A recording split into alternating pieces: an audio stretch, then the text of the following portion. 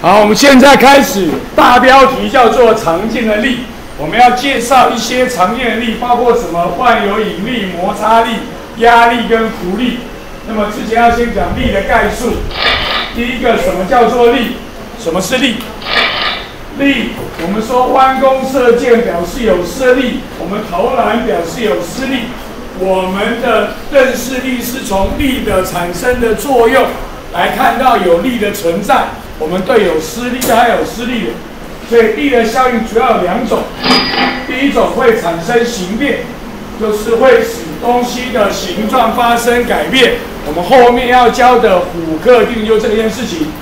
第二个叫做运动状态改变，这个是要到国三的时候才要教，三年级的时候才会教这个改变运动状态。所以，如果一个东西有形变，一个东西有运动状态的改变，我们就说这个东西有受力。受力就是会产生形变，或者是会改变它的运动状态。反之，假如既没有形变，也没有运动状态改变，我们就说它不受力，或者说合力是零。合力是零。考试题目问：下列哪一个有受力？看谁有形状改变，或者谁有运动状态改变。运动状态改变是国三才会教，但是希望你明白，所谓的改变运动状态的意思有两种，一种是改变大小。变快或者是变慢，第二种是改变方向，转弯，转弯改变方向，这样都叫做运动状态的改变。细节国三我们再来处理。力的作用方式可以分两种，一种叫超距力，不用碰到，小学做过了，磁铁的磁力不用碰到就会吸引或排斥，这叫做超距力。总共有三个超距力。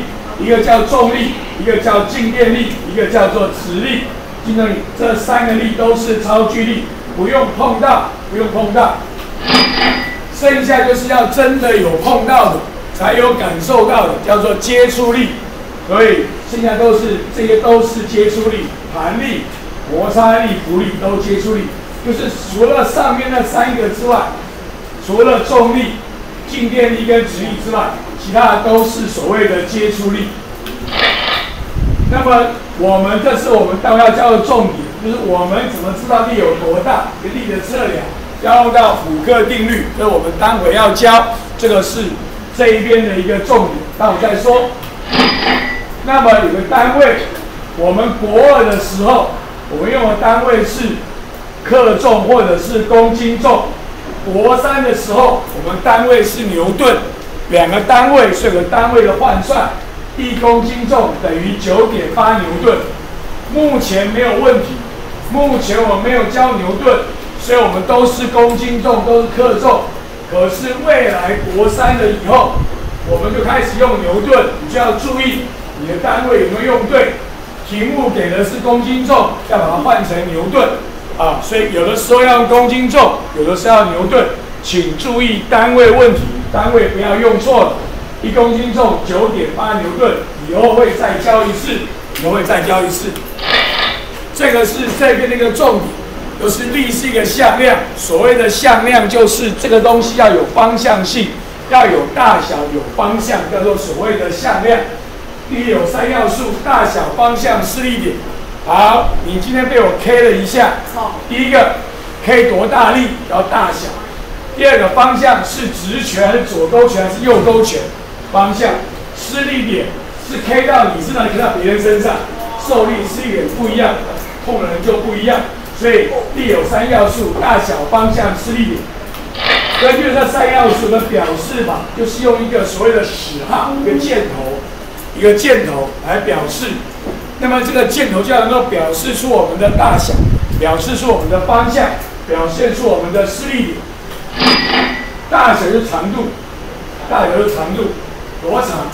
一公分代表一公斤重，两公分就是两公斤重。方向就是那个箭头的位置，方向就是那个箭头的位置啊。施力点就是那个尾巴，像图上所显示的，像图上所显示的。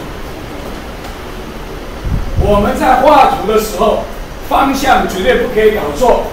受力向上，箭头就要朝上；受力向下，箭头就要朝下。大小通常不计较，你只不要画一个三公斤重比五公斤重还要长就可以了，不一定要照比例。没有照比例，但是意识到也可以。而施力点通常会随便乱画，为了好看，为了好看。比如说，这里有一个，这里有一个东西受到一个向右的施力，我们通常会画这样子，向右施力。可是这样的画法，如果你挑剔的说你的施力点在这里，那么这什么意思啊？这个意思就是说，你是这样施力的。施力点在这里，你是这样施力的啊？用气功，用气功在施力。可是问题是，如果你要照规矩画的话，你要这样子画；照规矩画，你要这样子画，这样很丑。而且如果左边一个，右边一个会怎样？会打架，会撞在一起。所以不如画成这样子，你懂意思就好，你懂意思就好啊。所以。施力点我们经常不不强调，不不特会会弄错，会不管它。但是我讲过，方向绝对不能搞错，向上箭头就向上，向下箭头向下。大小不照比例，可是意思要大，大力要比较长，小力要比较短，这个要做，这个要注意。就是我们的力的表示吧。所以力的三要素是我们的一个重点，表示法是我们的一个重点。那么超距离跟接触力会问，我应该很简单，我们应该没什么问题。最后是我们的第一段认识力的部分，OK。